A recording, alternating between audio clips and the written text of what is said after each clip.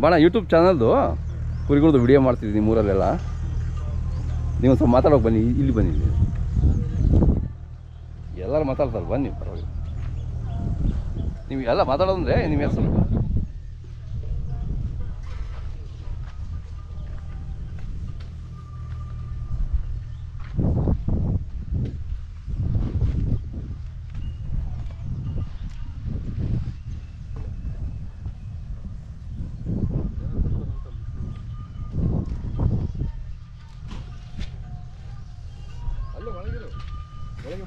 ಒಳಗೆ ಬನ್ನಿ.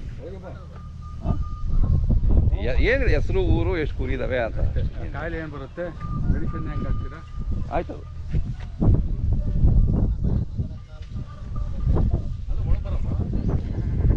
ಹೋಲಿ ಮುಂದೆ ಬೇಡ. ಹಂಗೆ ಇರಿ. ಅಲ್ಲೇ ಇರಿ ಹೇಳಿ. ನಿಮ್ಮ ಹೆಸರು ಹೇಳಿ? ಈರಣ್ಣವರು.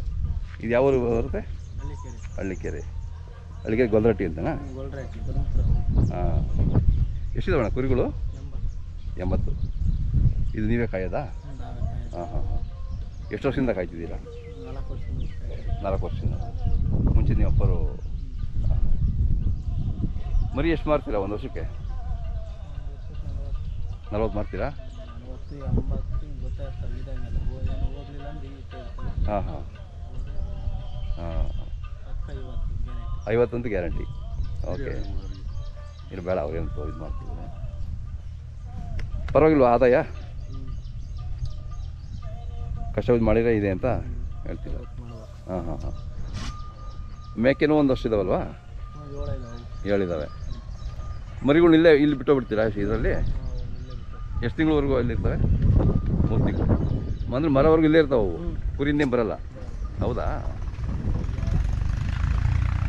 ಜೋಳ ಸೊಪ್ಪು ಹಾಕ್ಬೇಕು.